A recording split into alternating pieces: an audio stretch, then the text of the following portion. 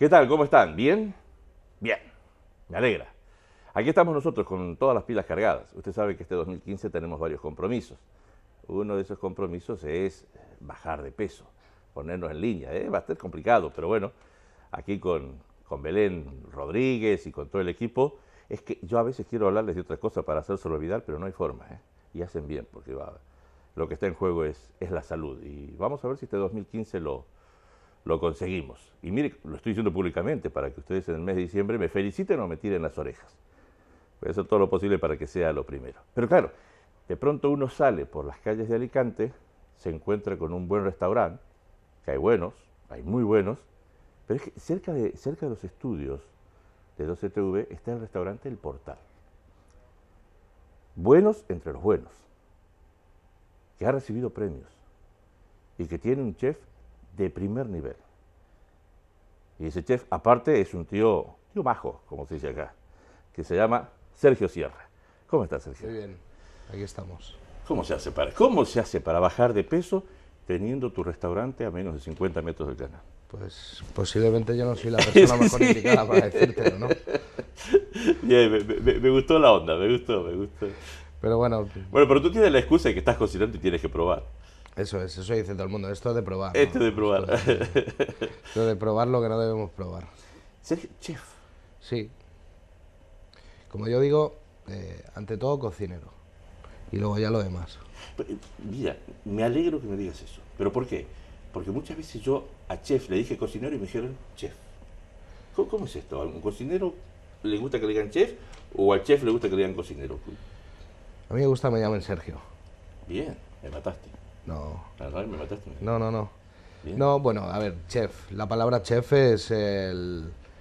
como si fuera el, el jefe de la policía dentro de la cocina, ¿no? El jefe supremo, ¿no? Pero bueno, sobre todo es eh, un oficio, es una profesión, ¿no? Y mi oficio y mi profesión es ser cocinero. Aparte de ser cocinero, pues soy chef y soy una parte de empresario también. Pero tengo entendido, corrígeme, porque yo soy muy, muy, muy analfabeto sobre este tema. eh, para ser chef no, no tan solo tienes que saber cocinar, sino también tienes que saber administrar, dirigir, enseñar, ser psicólogo. Totalmente. O sea, Son- al final, cosas, ¿eh? eh, cuando me preguntan, ¿y tú qué haces en el portal? Eh, yo hago, yo, yo lo digo así, ¿no? Digo, yo soy artista de variedades. Que hago muchas cosas, ¿no? Porque mi padre dice que con hacer una bien valía. Pero bueno, hay que hacer muchas. Y yo sigo, pues tienes que ser bombero, tienes que ser médico, tienes que ser amante, tienes que ser psicólogo.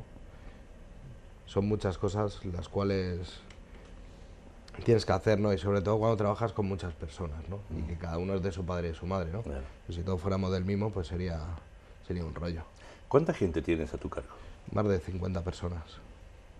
No solo en la cocina. Al final nos movemos en torno a 50 personas en el portal. A mi cargo directamente, pues todos los que están allí metidos, que son 20, 25 personas eh, por servicio. Sí. Abrimos, te, te cuento, ¿no? Porque dirán, ¿y el resto de los 25 donde trabajan, ¿no? Pues abrimos todos los días del año eh, de una a una interrumpidamente la cocina y luego pues hasta las dos. Sergio, tú eres copropietario, Copropietario. del restaurante El Portal. Vamos a la palabra restaurante la vamos a obviar, ¿vale? Vale, ¿cómo lo tengo que decir? el portal. El portal. Bien. Que está ubicado frente al portal, del de portal de Elche. Frente al portal de Elche. Correcto. ¿Tu socio? Carlos Boch. Carlos Boch. Boch. ¿Y Carlos eh, a qué se dedica? Bueno, pues eh, llevando, eh, siendo copropietario conjuntamente conmigo del portal y ahora está centrado eh, pues eh, en la dirección del portal de la parte no gastronómica, ¿no? Pues la parte de la calculadora, la parte de pensar, buscar, etc, etc. La, la- la otra parte La que es otra un- parte. el complemento que tú necesitas. Correcto. Bien. Sergio, ¿y cuándo nace el portal? Pues el portal nace en el año 2009. Son relativamente jovencitos. Sí, relativamente, ya vamos creciendo. ¿Y se te cruzó por la cabeza cuando, cuando se estaba pariendo el portal que iban a conseguir premios y que ibas a conseguir el nivel que tiene hoy el portal? Eh, bueno, los premios vienen, ¿no? Los- yo creo que tampoco hay que buscarlos, ¿no? Vale, pero tampoco vienen gratis. no, evidentemente. Tampoco Eso es como eh, cuando la gente dice, joder, qué suerte, ¿no? Que el portal que trabajáis muy bien, que siempre tenéis gente, que tal, que no sé qué. Digo, bueno, si suerte a lo mejor es el 1%. Algo estaremos haciendo bien. Claro, hay que trabajar, ¿no? Y también cuando la gente te dice, joder, sí, hay que trabajar, yo también trabajo. Pero a lo mejor dices, sí, yo trabajo, pero hay que trabajar pensando y sabiendo lo que vas a hacer y cómo lo quieres hacer, ¿no? Tener un objetivo muy claro, ¿no? A, dónde quieres llegar, ¿no? O sea, yo salgo desde aquí y hasta dónde quiero llegar. Eh, no lo sé. Si dijéramos ya hemos llegado donde tuviéramos que llegar, pues seguramente no seríamos lo que somos en el portal, ¿no? Pues, eh, pero sobre todo porque eh, todos los días nos preguntamos, joder, ¿qué, ¿qué, coño hicimos ayer mal, ¿no? Para poderlo mejorar. La autocrítica. Exactamente. Nos cuestionamos si lo hacemos bien o no lo hacemos mal, ¿no? Es decir, ya hemos llegado aquí, trabajamos muy bien y ya somos, somos los reyes del mambo, ¿no? hay que continuar, hay que seguir, hay que buscar la mejora constante. Sergio, nosotros estamos hablando de premios. Y sé que hay premios que ya han conseguido y me comentaron por allí que hay premios que están por llegar. Sí. ¿Cuáles son los premios que ya has conseguido o que ya se han conseguido? Como eh, premios que hayamos conseguido o reconocimientos, ¿no? Vale. Pues eh, el que nos dieron de, la cadena COPE, no sé si puedo decir cadena Sí, por favor. Gracias. Pero lo decimos. Eh, mejor restaurante de la provincia de Alicante. luego nos dan, nos concedieron otro a, a final de año que se entregará ahora, que es de la Academia de Gastronomía de la Comunidad Valenciana. Todos son importantes, pero bueno, que la Academia de Gastronomía te reconozca tu trabajo, pues... El, ser reconocido por tus pares... Es mejor, ¿no? Y este es eh, otra forma de comer. Otra forma de comer. Yo soy haciendo mucho películas, o sea, me, gusta, me gusta ver la, miniserie cuando tengo la oportunidad de, dialogar con, una persona tan interesante como tú. Eh, yo me pongo, retrocedo nueve años y te veo a ti hablando con Carlos, con tu socio. a 2009. Eh, en el 2009. Seis años. Seis años. En el 2009. Me vuelvo al 2000, me voy al 2009 y te veo a ti y a Carlos en un bar diciendo, ¿qué podemos hacer? Dice, vamos a montar el portal. Oye, pero es que, es que hay muchos lugares para comer en Alicante, hay muy buen nivel, hay mucha competencia. Y tú dices, lo vamos a poner, porque vamos a hacer una cosa distinta. Esa cosa distinta, ¿lo has conseguido? Yo creo que sí. ¿Y cuál qué es lo distinto?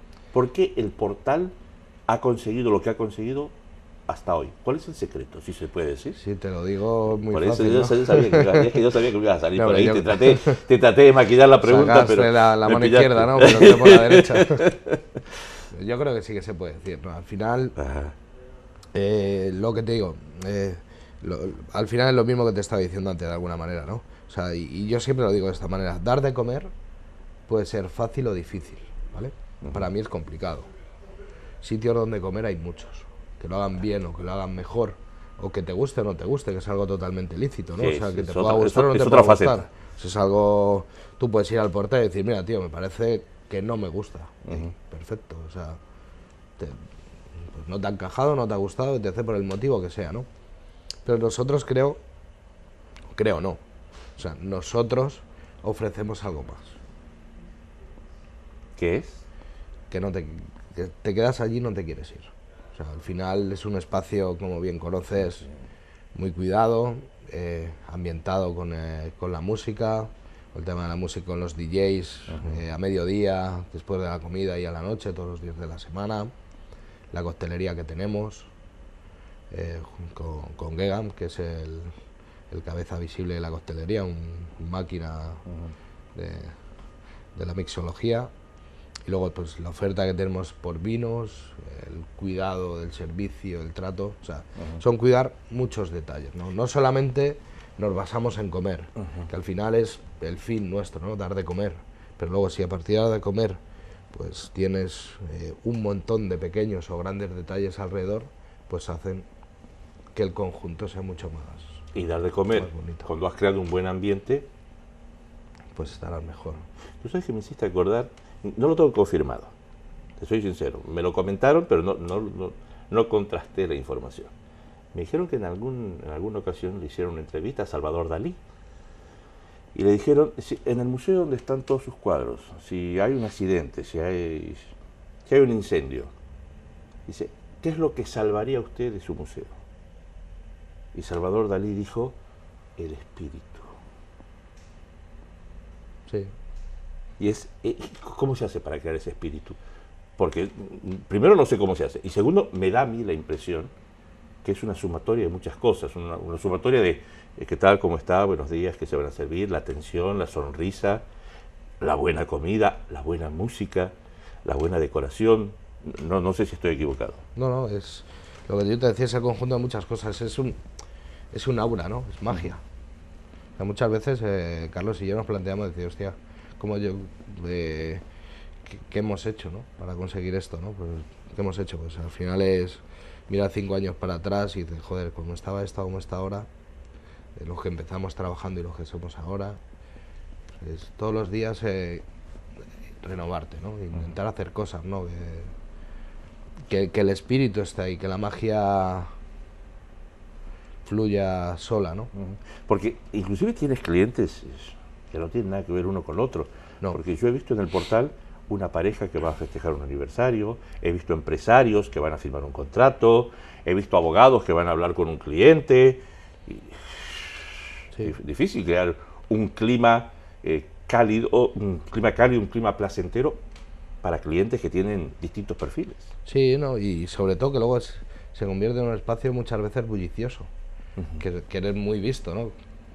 O sea, eh, pues conjugar toda esa parte y, y no, no buscamos un cliente final, decir, solamente quiero a los empresarios, o solamente quiero a los abogados, solamente quiero a, a las parejas que vienen a decir que, que guapa eres y me quiero casar contigo, ¿no? Ujú. O sea, la puerta está abierta para todo el mundo.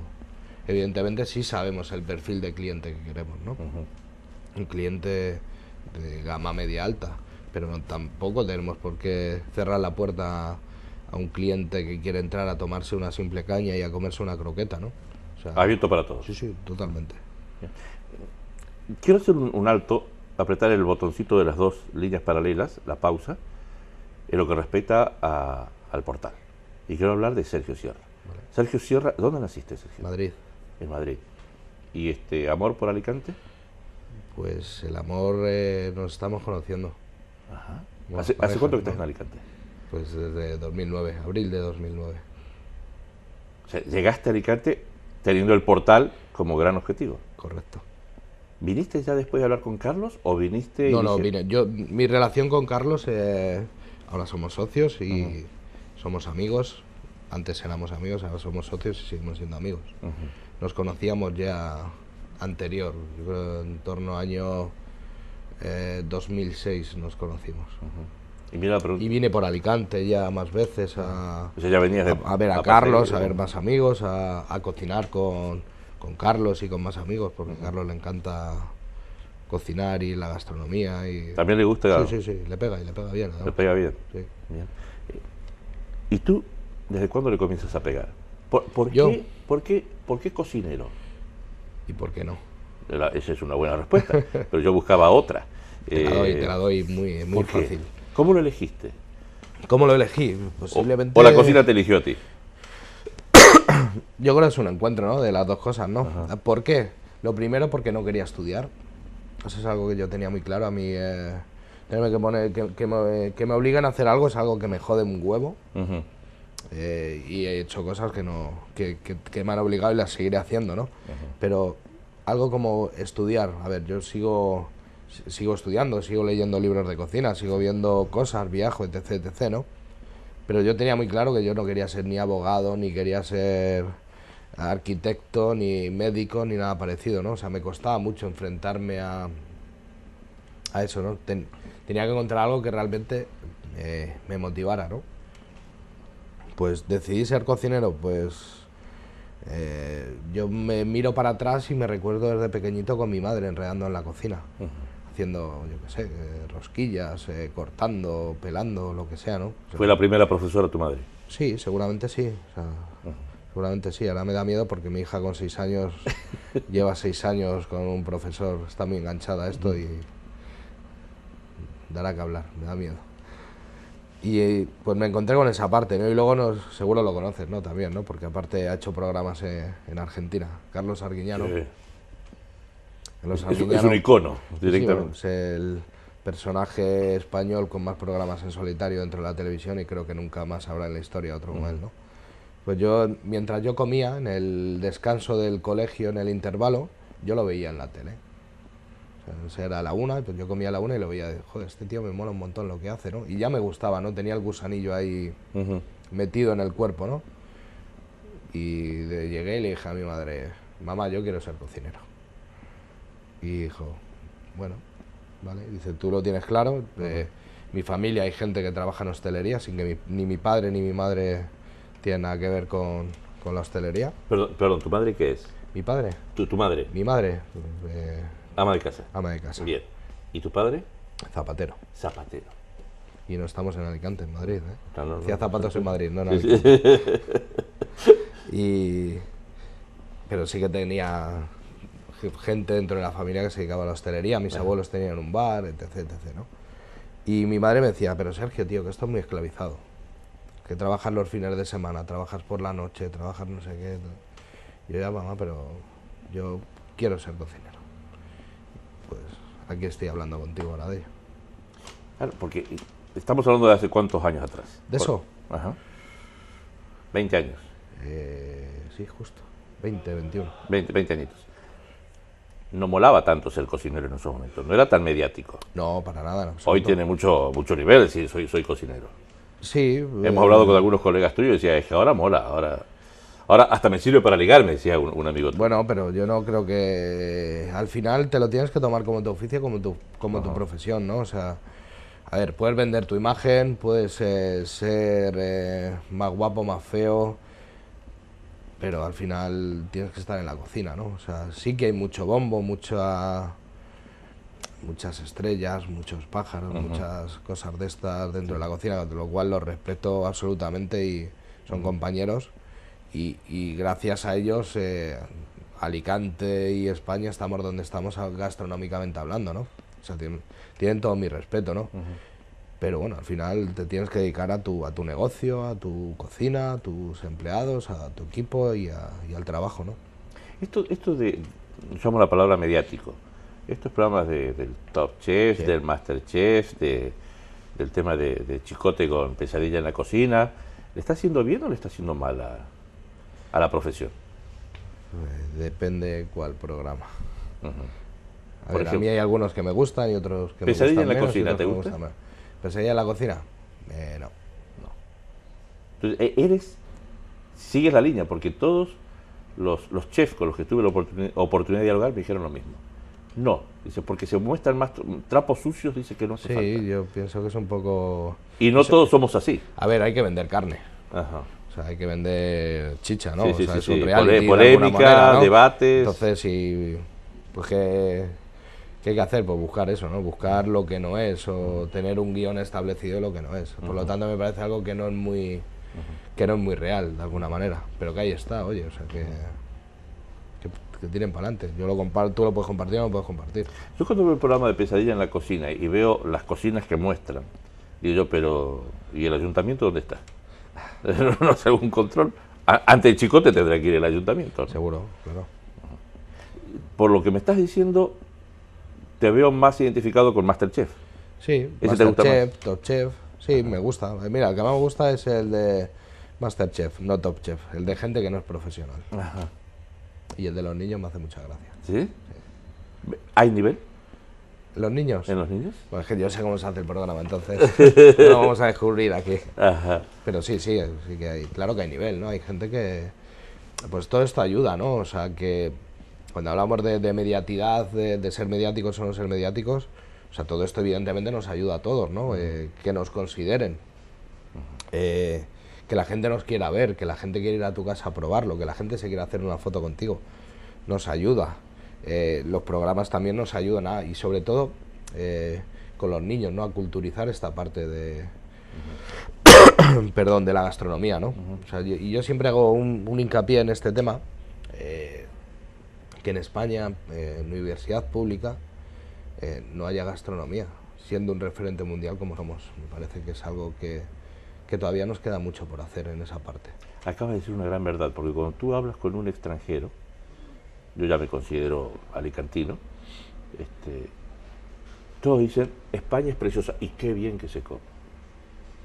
Es el segundo comentario, ¿no? Sí. Eh, España tiene muy buen clima y qué bien que se come. Es que se come bien en el sur, en el norte, en el centro, en el este, en el oeste. ¿De dónde viene eso? Herencia de los abuelos. Seguro, cultura. Al final es cultura, ¿no? De cultura y eh, tú date cuenta que nosotros, eh, España al final es como si fuera un círculo, un cuadrado. Pues eh, tenemos mucha... Cada zona pues tiene su, su riqueza, su, su raíz, su forma de cocinar y al final eh, todo parte de lo mismo, o, o no, pero pues por ponerte un ejemplo, ¿no? Hablamos de, de Alicante, pues en Alicante tenemos eh, la almendra, tenemos la ñora, tenemos tomates, tenemos eh, ajo. Mi madre en su pueblo no tenía ñoras y en vez de tener ñoras pues tenían el pimentón y seguían teniendo el ajo. Y, y para empezar a hacer un guiso pues hay que coger el aceite de oliva que es común a todos. Antes evidentemente uno no tenía aceite de oliva pero partían de otra grasa. Y todos pues empezaban con el ajo, con la ñora, con el tomate. O sea, hay- sí que hay cultura, hay raíz, ¿no? Hay raíz de, de cocinar, de guisar, de, de comer, ¿no? Y sobre todo viene de, de todas estas... Toda la cocina viene de, de muchas cosas de, de gente humilde, de gente pobre, ¿no? Me quitaste el comentario. Te iba a decir que yo veo muchos platos que hoy son tradicionales en España que nacen del ingenio de la claro, gente de la ante la supervivencia. necesidad económica. Totalmente, es decir, tengo una hogaza de pan duro, tengo un ajo, tengo pimentón y tengo aceite. ¿Qué hago con esto? Unas migas, por ponerte un ejemplo, ¿no? Ahí está. O sea, Y, aquí, y no, las hizo no, bien que se hizo tradicional. aquí el- la gachamiga de aquí, ¿no? De la zona de- del interior de- del Vinalopó, el arroz. O sea, el arroz es el producto más barato del mundo. Claro. Básico, o sea, al final tienes aceite, tienes un tomate, tienes ajo, tienes una ñora, tienes azafrán.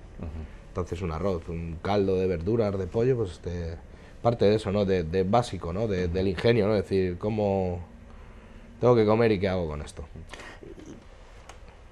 Gastronómicamente, la comunidad valenciana es algo más que una buena paella. Por supuesto. Yo creo que la comunidad valenciana es una de, de- de las comunidades punteras eh, gastronómicamente hablando. Evidentemente tenemos eh, Cataluña, País Vasco, que es eh, la cuna ¿no? de, la, de la cocina española, por decirlo de alguna manera, pero la comunidad valenciana a día de hoy yo creo que está pegando muy fuerte. ¿no? Tiene mucha gente joven emergente. Mira, hagamos un top 5 de los mejores cinco platos de la comunidad valenciana según tu criterio. Los mejores cinco platos de la comunidad valenciana, según mi Qué, criterio. qué malo el periodista, ¿no? En el, en el aprieto que te pone. No, que va. A ver, yo me quedo con el primero, con el arroz de conejo y caracoles, Ajá. que no paella. Arroz, Arroz de conejo y caracoles. Aquí de Alicante. ¿Me lo, me lo vas a decir en orden de importancia o Sí. el primero? Bien. El top, el arroz, de Arroz de conejo y caracoles. El dos, El 2. Podemos hablar de productos, de lo que tú quieras. salazones, Bien. ¿vale? Eh, otro plato, que lo he hablado antes, que también para mí fue un descubrimiento, que es algo hiper básico, eh, la gachamiga. Ujú. Te hablo más de Alicante que la comunidad valenciana, ¿vale? Lo que más cerca tengo. Otro producto que me gusta mucho, la alcachofa. Mira tú. La zona de la Vega Baja. Pre- prepa- ¿Preparada cómo? Las alcachofas de Ah. cualquier manera. Crudas en una ensalada, a la plancha, en arenadas y fritas, en un guiso de patatas, en un arroz. Tienen, tienen su secretito, Tiene ¿eh? su secretito. Y nos falta uno, ¿no? Sí. Tomate. Tomate. Sí. ¿Preparado cómo? Nada, Tomate. más. Partido, un poquito de aceite, sal sal. y aceite. Y otra cosa, Y Hablamos de productos, de elaboraciones. al final nos diferenciamos en los arroces, ¿no? Bien. Valencia paellas, Alicante arroz a banda, arroz de conejo y caracoles. Y, y si vamos a la Tú sabes que la palabra paella es la palabra gastronómica eh, más conocida en el mundo, No me digas. ¿sí? Oye, te la dejo el dato, no lo sabías. Más que la pasta, Más que la pasta. Que restaurantes italianos Sí, son los sí, que más hay en el mundo. Y tú sabes, me sorprendió a mí los otros días, escuchándolo a Joaquín Sabina, porque decía que las mejores pastas, ojo, no estoy sacando la banderita, ¿eh? Eh, No lo- pasa lo nada, si Sabina es del Atlético como yo. Lo dijo Joaquín Sabina, dijo que para él las mejores, el mejor lugar donde se come pastas es en Buenos Aires. Y tiene su explicación. Tú sabes que en América, se, en América se dice que los, eh, los, los peruanos vienen de los incas, los mexicanos vienen de los aztecas y los argentinos venimos de los barcos.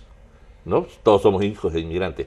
Por lo tanto, la colectividad en, en Argentina, una de las colectividades más importantes son la española y la la italiana. Claro, puede ser que, y ahí venga la explicación, que se siguen haciendo las pastas como las hacían los abuelos. Seguro. De, de- de ahí, de ahí puede venir el tema. Pero eh, sa- sa- saquemos lo, lo salado, vamos a lo dulce. En lo salado, la paella. ¿Sí? Es el, el- el gran plato que representa a la comunidad, a la comunidad valenciana. ¿Y en lo dulce? Y lo dulce. A la comunidad valenciana, ¿A la comunidad valenciana? Paco Torreblanca. A la, a la hora de los postres. Paco Torreblanca. Yo no sabía eso. ¿Eh? No lo sabía eso, me sorprendiste. ¿Por qué? Yo no lo sabía. ¿Cómo, cómo, cómo, cómo- cómo es el, el postre? Explícamelo. Paco Torreblanca es el pastelero español más reconocido, Ajá. alicantino. Sí, sí, sí. Por eso he dicho Paco Torreblanca, ¿no? Claro, claro, claro. O sea, es lo, lo que él haga, número uno. Bueno, es el padre de todos los pasteleros eh, verdad, que hay. es verdad. Al final es el icono de la pastelería española. ¿Y Paco Torreblanca, algo en especial que te guste de él? ¿O, o- De o él. todo? De lo que él hace. Me gusta todo. Me gusta mucho el panetone, el me dijeron que es... es- La milhoja también está muy rica. Todo. No sigas que me estás torturando, por Dios. Sí, porque no tenemos nada para mojar aquí trae, trae- trae pancito, Roberto, por favor. Eh, me dijeron, ¿lo conoces a Paco? Sí. Me dijeron que es un tío espectacular. Tráelo un día, Lo tengo que traer. claro. Lo tengo que traer. Me dijeron que no se puede ser más grande y más humilde. ¿Coincides con esa definición? Por eso digo que es el padre de, de todos los pasteleros de España. Me encantó. Me encantó. Eh, ¿Alguna vez le pediste un consejo? ¿Hablaste con él? Sí, no, pues tenemos mucha afinidad común porque somos colegas de, la profesión. Qué cosa, ¿no? A veces en Alicante no sabemos valorar lo que Lo- tenemos. claro. Bueno, pero en Alicante y en, y en Madrid también, ¿eh? cuando yo estaba. ¿eh? Ajá. Hay que valorarlo todo, ¿no? Y saber dónde estar, ¿no? Y qué, qué máximo le puedo sacar a lo que tengo alrededor de mí. ¿Qué valoras tú hoy de lo que tienes? De lo que tengo, pues eh, tener parte de un negocio en el cual eh, comen directamente 50 familias, indirectamente otras cuantas. Sergio, me dijiste que tienes una, una nena. Sí, ¿De cuántos años? Seis. Seis añitos. Eh, ¿Cómo haces para ser cocinero y ser papá? Porque lo que te dijo tu madre es cierto. sí. Es- Esto es Bueno, mi, hija tiene tiempo. una mamá que es mamá y papá. bien. Yo lo tengo muy claro. O sea, eh, mi, mi mujer es la mejor madre del mundo para mi hija. O sea que eso yo lo tengo claro porque es madre y es padre y amiga. Y ella es la poli mala y yo soy el poli guay. Pues yo estoy un ratito solo con ella. Esa parte es complicado. ¿Y cómo lo hago?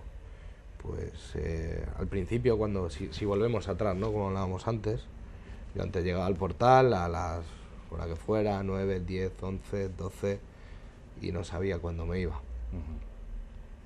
A día de hoy sí sé cuándo me tengo que ir.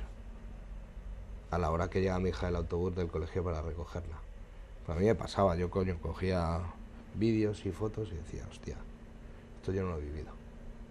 No me acuerdo. No. Digo, no sé, y coño, me dio una hostia así en la cabeza y dije, no.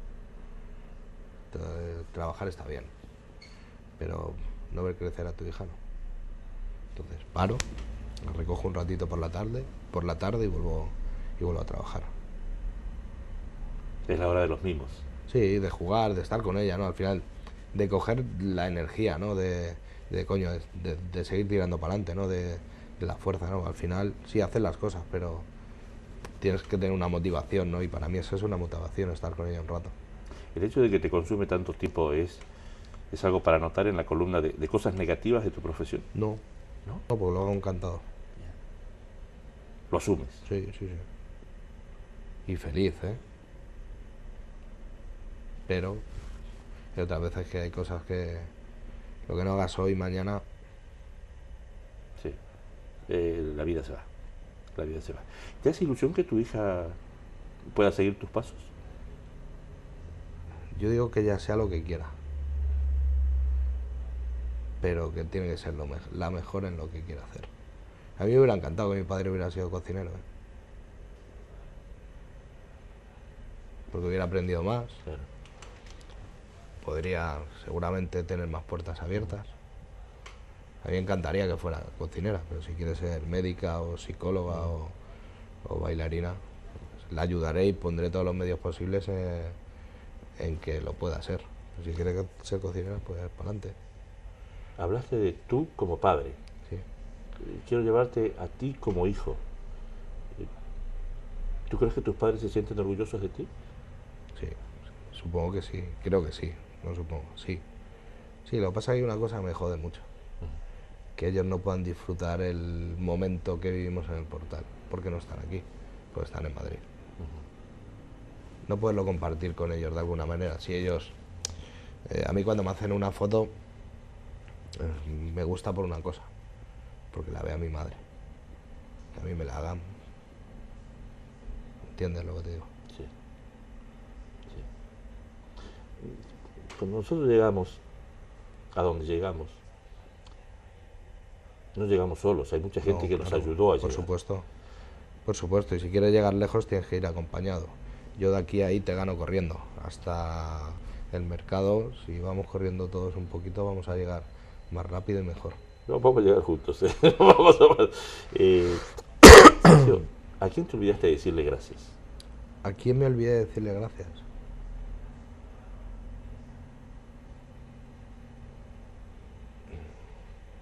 Suelo ser bastante agradecido. Es algo que, que lo aprendí en mi casa. Eh, no sé. Pero así pensando, eh, gracias. Eh, siempre, y lo he dicho y lo en alguna, no sé si lo he escrito eh, en mi blog alguna vez, seguro. Eh, evidentemente a mi padre y a mi madre, que por ellos estoy aquí, ¿no? A ellos por, por, no ponerme ningún pero nunca, si hablamos de la parte profesional, a, poder hacer las cosas, ¿no? A- gracias también a, y eso sí que lo he escrito, y antes cuando me preguntabas por qué te dedicabas a esto y por qué no, a las monjas del colegio donde estudié, que gracias a ellas pude entrar a la escuela de hostelería, si no, no hubiera entrado. Y eso se lo he dicho público y está escrito a ellas, eh, a mi mujer, que me aguanta y no es poco. A mi socio, que también se lo he dicho muchas veces, ¿no? Por querer compartir esta parte conmigo. Eh, a la gente que trabaja con nosotros, pero yo creo que se lo he dicho a todo el mundo. A ti por haberme traído. Así por venir.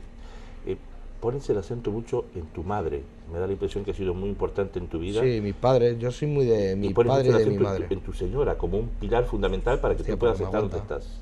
Sí, me aguanta. Que no es poco, ¿eh? Que te aguanta una mujer a día de hoy, ¿eh?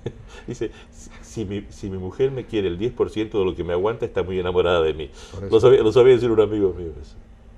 Sí, bueno, al final es una cuestión de... eh, yo no soy yo solo. Claro. Yo soy yo, mi mujer y mi hija. Si hablamos de familia, o sea, a mí... eh, cuando, si volvemos para atrás, cuando volvimos a Alicante, yo no vine a Alicante porque yo dije, hey, que mañana nos vamos. No. Ahí está la opción, nos podemos venir o nos podemos ir. Es una opción consumada entre los dos. Se me acaba.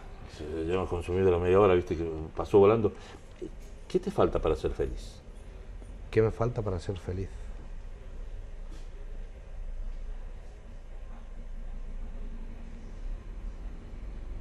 Posiblemente tiempo para poder viajar.